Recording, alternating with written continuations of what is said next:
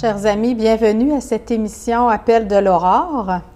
La semaine dernière, vous avez fait connaissance avec Percy, mon invité. On s'était laissé sur, une, sur un combat. Percy nous racontait comment Moïse l'avait inspiré dans sa mission, mais aussi dans...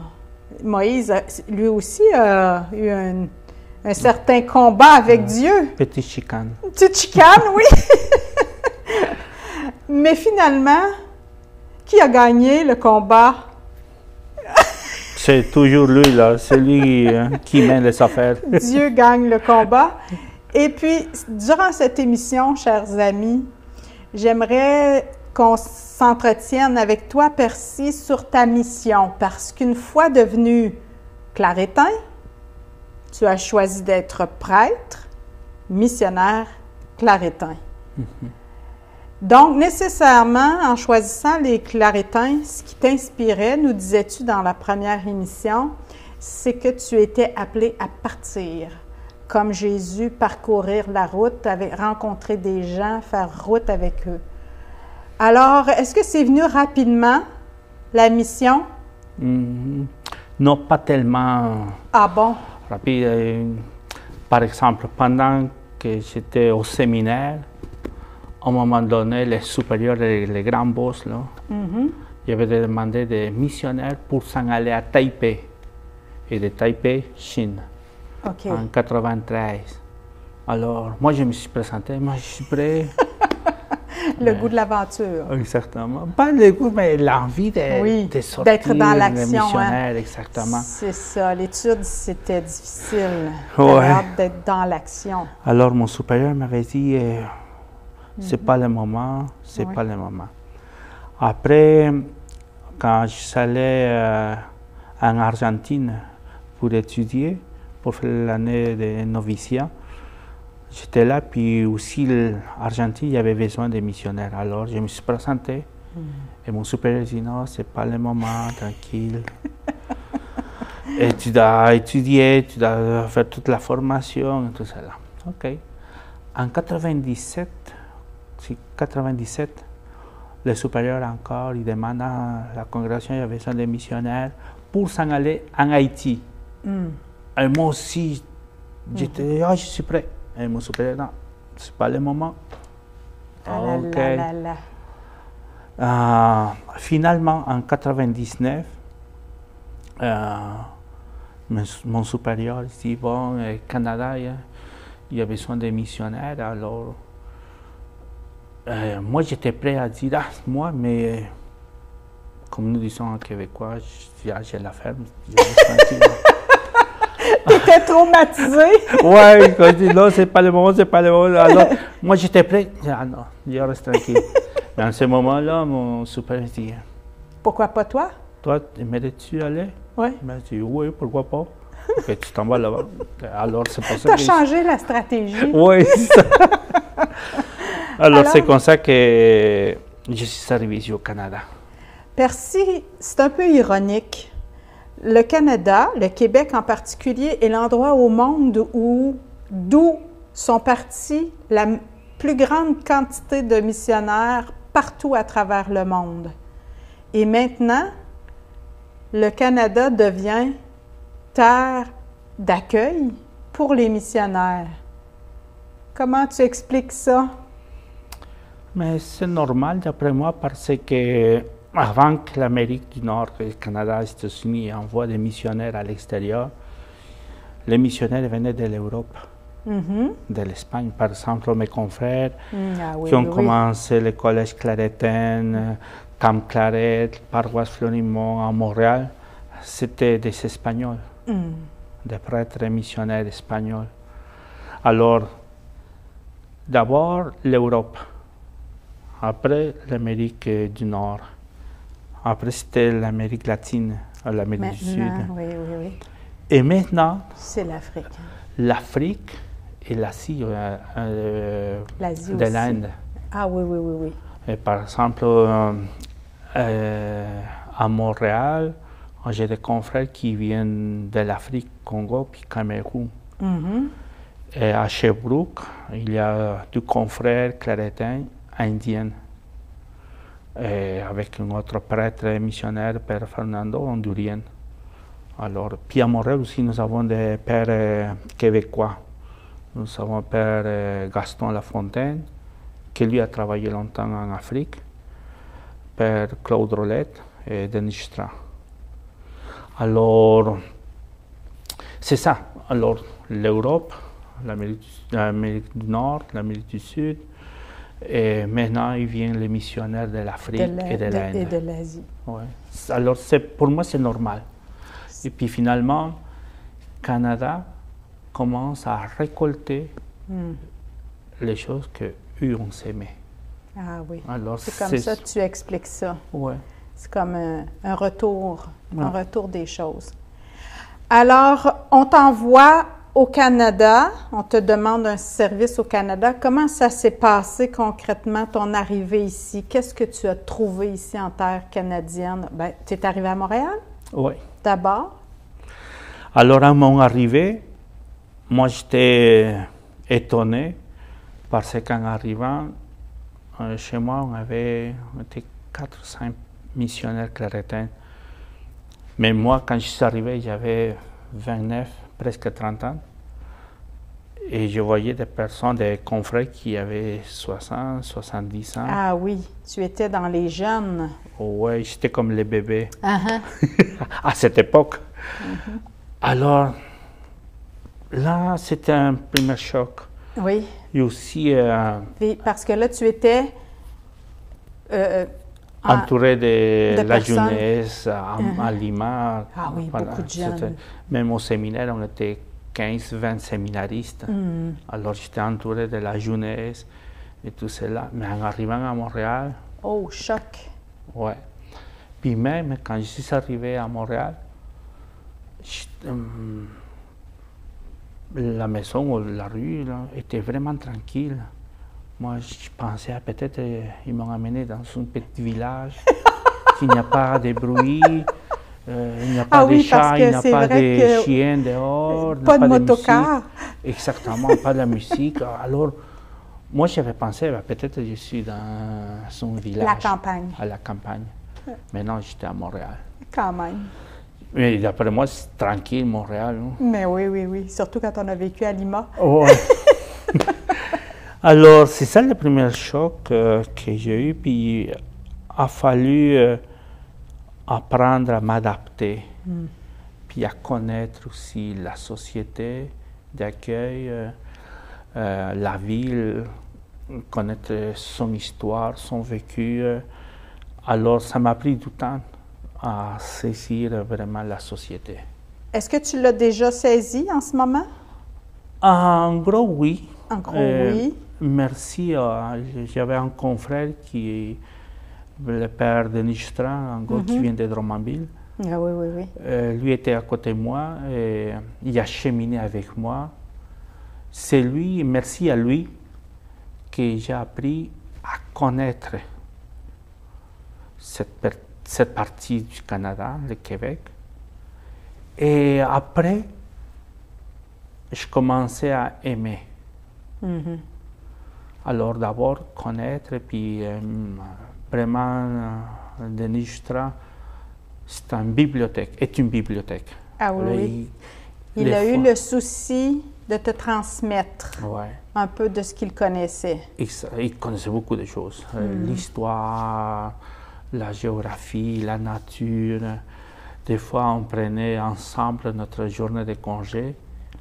Puis en sortant de l'Hippolyte-la-Fontaine, de le tunnel Hippolyte-la-Fontaine, euh, Père de Nistra me disait Hey, Percy, euh, nous pouvons faire un petit crochet. Mhm. Ben oui. Alors on commençait à parcourir euh, les, campagne, villages, les les villages. Puis il y avait quelque chose à dire en chaque ville ou chaque village. Tu as Alors. été comme parrainé par cet ancien, Ouais. par ce, ce père. Et même en paroisse, euh, je commençais à travailler avec lui en paroisse à Saint-Léonard, à la paroisse Saint-Angèle. Mhm. Puis moi, j'avais beaucoup décidé. Ah, je dis, Denis, nous pouvons faire ça. Denis, nous pouvons faire. Calme-toi. Attends. Regarde. comprendre. Exactement. C'est ça que Denis Strait était vraiment sage. De, vraiment, il, il a eu la patience de cheminer avec moi. Selon toi, quelle différence ça a fait dans ton, comment dire, dans ton in- introduction, dans, ton, dans, la façon dont les gens ont pu te percevoir aussi, cette lenteur, ce calme, ce, ce début un peu, euh, un peu plus observateur, comment ça a changé, ça a teinté ta façon d'être par la suite? Hmm, je- je- Tu t'arrives pas à saisir. ouais. Pourquoi il t'a appelé à autant de prudence? Ah, parce que, euh, mettons, Tu étais enflammé, tu étais Ouais. radical. mais surtout, euh, hmm, comment est-ce que j'ai- j'avais beaucoup décidé. Je dis, ah, nous pouvons faire ça, ça, alors. Mais Denis était. Tu aurais pu faire des erreurs. Exactement. Ah oui, c'est ça. Alors, c'est lui qui m'a dit non, calme, regarde. Mhm. Par exemple, pour les conseils d'administration. Ah oui, oui. Par exemple, en Amérique latine, nous n'avons pas euh, le conseil d'administration, conseil de fabrique. Mhm. Euh, alors ici, oui. Mais lui m'a dit, ben, écoute, euh, les devoirs, les tâches du conseil de fabrique, c'est celui-là, le conseil pastoral, c'est celui-là. Ah oui, oui. Alors, Il y a des différences. Exactement. Apprends à connaître le milieu, acclimate-toi. C'est sage parce que les, les, les gens qui, qui étaient missionnaires à l'époque, des Québécois qui arrivaient, prenaient toujours le temps d'apprendre la langue de l'endroit où ils allaient. Et puis ensuite, ils prenaient du temps pour comprendre la culture, l'histoire. C'est important. Sinon, tu arrives avec ton bagage et tu veux transmettre ton bagage. Tu n'es pas au service de la richesse du peuple qui t'accueille. Exactement. Puis l'avantage aussi que j'ai eu, euh, on vivait en communauté. Qu'est-ce que ça change d'être en communauté pour un missionnaire? Et par exemple, on- faire la prière ensemble Mm. le matin, et prendre le petit déjeuner, les dîners, les soupers, ensemble, il y a des échanges. Un, un confrère qui venait de travailler dans un endroit, l'autre endroit, alors moi, j'écoutais, c'était vraiment dans un milieu francophone. Alors, à moi, attentivement d'écouter, d'apprendre à ce moment-là, était le Père Jean-Louis Dubois, Yves Boutier, Mhm. euh, Yvon. Ben, c'était vraiment un milieu francophone, Ah oui, oui. québécois. Tu as appris le français facilement? Ah, oui, mais je suis, allé, je, suis allé, je suis allé à l'école pendant six mois, mais après six mois, j'étais un petit peu tanné d'étudier. Encore? Oui, encore. Puis ça, c'est un de mes défauts, là. Non, non, non, non, je comprends. Alors, après six mois, moi, je parlais avec mon supérieur. Je dis, ah, je suis prêt, j'aimerais commencer à travailler. En ce moment-là, mon supérieur me dit, Ah, allez-y dans une paroisse euh, Mhm. Euh, francophone, avec, justement avec des Avec d'autres, oui. Et là, tu commences à travailler. de la communauté, oui, Ouais. c'est ça. Et c'est ça, être ensemble, de vivre ensemble, ça c'est une autre allure. Même écouter les nouvelles avec une autre personne, Mhm. l'échange, ça, Mhm. ça c'est une richesse. Et même euh, chez nous, euh, bon, on vient de l'Amérique centrale, l'Amérique du Sud, de l'Afrique, de l'Europe, il y a des Québécois, Mhm. mais tous ensemble des À la même nous, Exactement.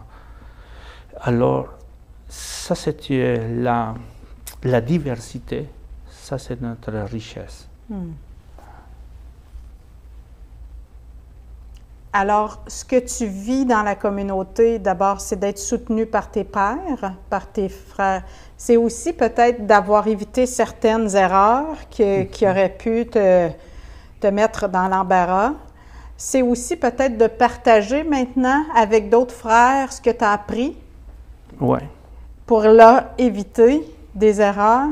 exactement. Comprendre un, un petit peu euh, qu'est-ce que c'est cette société. Mhm. Par exemple, quand euh, maintenant, j'accueille des confrères qui viennent de l'Afrique ou bien de l'Inde.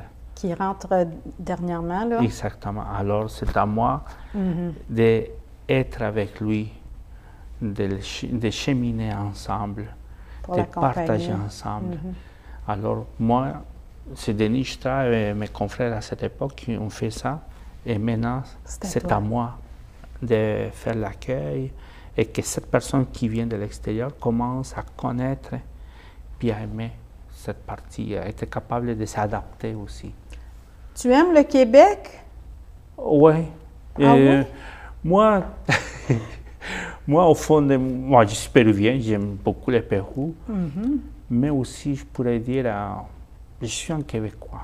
Comment ça? Oui, Tu je- t'oserais dire ça? Ouais, oui, même si ça, ma, ma peau n'est pas évidente. Oui, oui, oui. Oh, Tu es mon un peu foncé, oui.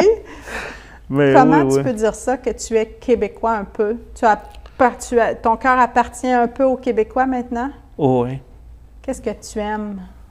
Comment peux-tu dire que ça s'est passé, là, la chimie a opéré, l'adoption est faite? Et justement, euh, quand on passe à déconnaître, à aimer, c'est ça la différence. Ah, c'est ça. Euh, nous pouvons connaître beaucoup de choses, mais tu ne peux pas aimer beaucoup de choses. Alors la différence, c'est que vraiment, je commençais à aimer cette partie, la culture, la tradition, les valeurs qu'il y a ici. Alors c'est ça que moi je, pour ça, je- moi, je pourrais dire, ah, je suis un Québécois. Tu parles de valeurs. Est-ce que tu peux en nommer celles que tu reconnais? Le respect, Le la respect. liberté, La liberté. euh, le dialogue, l'échange.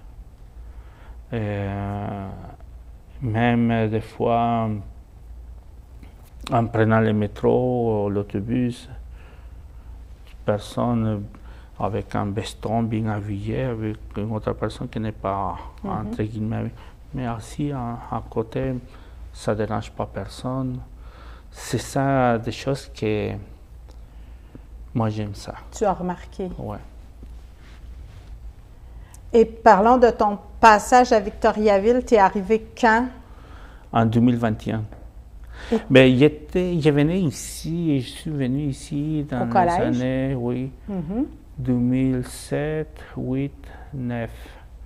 J'étais au collège, mais j'étais euh, pour euh, être à, à côté de Madame Annie, Annie Oui, qui travaillait à Agente de pastorale au, au collège, oui, oui, Ouais. oui. Alors j'étais là euh, avec elle, mais c'était 2007, 8, 9. OK. Mais le problème, c'est que j'étais ici de dimanche à mercredi, après Tu Montréal. étais à Montréal, OK. Mais ici à Victoriaville, euh, comme résident ici de Victoriaville depuis 2021. Jusqu'aujourd'hui, jusqu'à demain, ou après-demain. Parce que j'ai déménage vers Sherbrooke. Comment, justement, tu vis comment ces, déracinements? Est-ce que tu, ça, te- ça t'en- ça te crée beaucoup de, de détachement? Comment tu vis ces déracinements successifs, d'abord du Pérou, ensuite euh, de Montréal, puis maintenant de Victoriaville? Bon, euh, d'abord, c'est euh, quand on commence à s'habituer ici à Victor. Mais je suis un gars d'asphalte. Ah bon? Alors, pas trop Quand campagne. je suis arrivé à Victor, Il y avait beaucoup de blé, beaucoup de champs, beaucoup de fermes. Alors, c'était pas évident au début pour moi. Uh-huh. Mais après, je commençais à marcher, et à connaître euh, euh, des personnes euh, au collège aussi. Alors, je commençais à aimer cette partie. Et même quand je commençais à aider en paroisse, euh, pour les funérailles ou euh, la messe en- la fin de semaine ou pendant la semaine, alors je commençais à découvrir euh, l'autre côté de Victoriaville, le côté humain. Hmm. Et c'est ça que je commençais à, à À capoter. t'attacher. Exactement. Et maintenant, bon, euh, c'est une partie de notre vie missionnaire. Euh, au fond, quand j'étais au séminaire, je disais, ma maison, c'est le monde. Chez moi, c'est le monde. Tu t'es déjà un peu, comment dire, programmé Mhm. à, Mais à en vivre des c'était changements. mon choix. Mhm. Mais sauf que à, à chaque détachement, c'est pas facile, non? Euh, faut recommencer. Mhm. Ah, alors maintenant, je m'en vais à Sherbrooke. Il va falloir recommencer à connaître euh, Des gens, les des gens, lieux. l'histoire, la société. Exactement. Ça, c'est notre défi. C'est sûr que les passages, c'est pas facile, c'est pas évident. Ah, et c'est ça. Puis en plus, que je pense, d'après moi, j'ai bien cliqué ça. avec les paroissiens, Oui, au oui, oui. collège aussi. euh. Mhm. Alors, moi, j'étais vraiment à l'aise ici, euh, soit au collège avec les élèves, avec euh, les profs, euh, ou en paroisse aussi. J'étais vraiment à l'aise. J'ai bien cliqué. Mais sauf que maintenant, va falloir recommencer. Tu, tu vas, tu vas, tu- t'attends à cliquer encore avec des- d'autres personnes. Oui, Tu te prépares. Et quand tu, est-ce que tu retournes parfois, Percy, au Pérou? oui, parce que ma mère est là encore, Ton mon père? frère. Mon père est décédé en Ok. 2010. OK. Euh, grand-maman, côté maman, est décédée en 2017. OK. Alors, tu y, al- tu y vas à ces occasions-là? Oui, oui. Tu- Euh, en 2022, j'étais là. Mhm. 23. 23. ouais. Tu reconnais ton pays? Comment tu te sens quand tu y retournes? Mais quand je prends l'avion, ouais, je, je suis bien, je suis content. Parce que, bon, c'est de retourner à mes origines Hmm. Et aussi rencontrer ma famille, maman, mes frères, Mhm. mes neveux, ma nièce. Mhm. Ça, ça chauffe le corps vraiment. Et, sauf que ça fait longtemps que je me suis débranché du Pérou. Mais j'ai une idée au niveau politique. Tu gardes l'intérêt Ouais. de ce qui s'y passe? Oui, en gros, oui. Mhm. Mais c'est différent de vivre là-bas. Alors, en tout cas, pendant mes vacances, je suis bien, je suis à l'aise, sauf que après trois semaines, euh, oui, je suis bien, je suis content, mais il commence à dire, bon, je, je dois retourner déjà là-bas. C'est comme si ce n'était plus chez toi. Exactement, Ah oui. Tu rentres à la maison quand tu reviens. tout à fait ça. Mais, même si j'ai fait un arrêt à Toronto, en arrivant à Toronto, je dis, ah, je ne sais pas pourquoi. Ah oui? Mais c'est automatique. Mais alors à Montréal, Alors là, voilà. c'est terminé. Tu es, euh, tu es adopté, je pense. Tu, Ouais. tu es de la famille. Si une, euh, une prière te venait, qu'est-ce que tu dirais au Seigneur pour cette vie-là de mouvement, de mission? Qu'est-ce qui te vient? Bon, d'abord, euh, un remerciement au Seigneur parce que c'est lui qui m'a donné la vie et c'est lui qui m'a appelé à vivre cette vie missionnaire. Et l'unique chose que je lui demande, euh, la force, la fidélité euh, dans ma vocation. Euh, et d'être en santé pour parcourir le monde, pour être vraiment en route avec le monde. Et c'est ça. Et surtout la santé, non, être oui, bien. oui, oui. euh, euh, cette année, bon, en décembre, j'ai glissé puis j'ai cassé ma cheville. Oh, Allez. oui, oui, oui. Alors, être un mois et demi au lit, c'était pas évident. Pour un homme d'action, ça a Alors? été toute une épreuve. Exactement. C'est pour ça que je dis, bon, la force, euh, le courage, la fidélité, puis que je sois bien en santé physique pour parcourir le monde entier. Merci, Percy. Merci pour ton passage à l'émission, mais surtout merci pour ton ouverture. Avec tes yeux, je vois, ou à la lumière de tes mots, je vois combien tu aimes le Québec, combien il te tient à cœur, Merci pour ton passage à, Victoriaville, pour les homélies enflammées que tu nous as, que tu nous as partagées, avec lesquelles on a prié.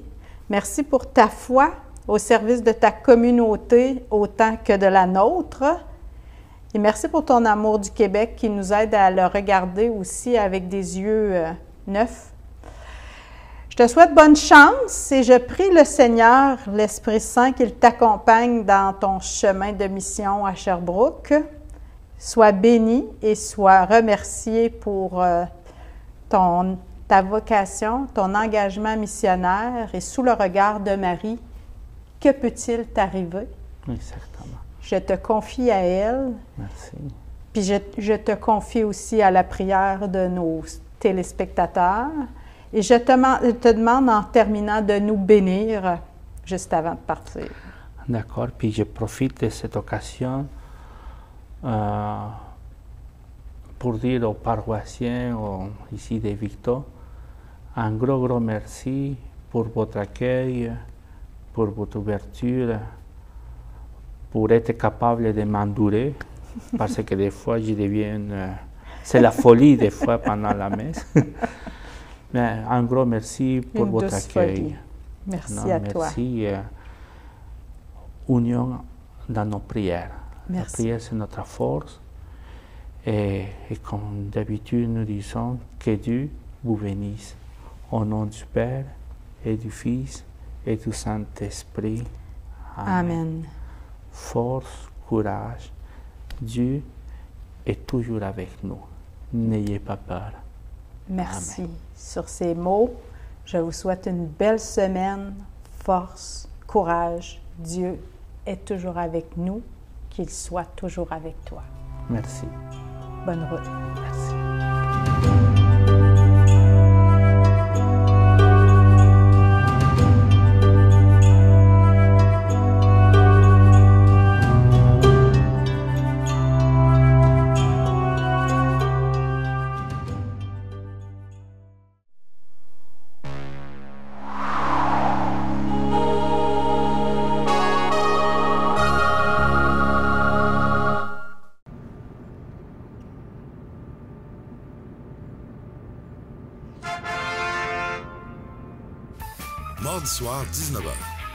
1500 dollars à gagner. Télébingo, rien d'autre.